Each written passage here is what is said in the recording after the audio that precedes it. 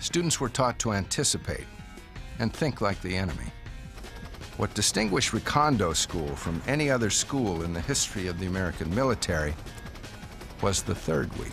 The last week of the school, um, we, we did a, a, live mission, and what that meant, live mission, was um, they would put us on teams with two Special Forces instructors, and then we, they would insert us in a known enemy area, and then we would perform a mission. They wanted to test us under fire, if you will, and actually... Uh...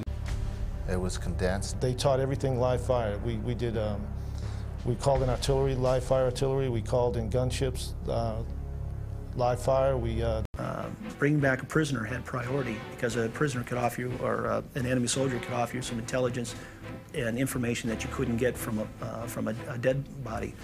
I get the gun to the man behind me. A man was backing me up, and I hid on the trail. The man on the radio called and told me when he's coming. And I jumped on the prisoner, and I grabbed him just in hand-to-hand -hand combat. Your best um, uh, source of information is a live prisoner, you know, and it's no fun shooting anybody anyway, really.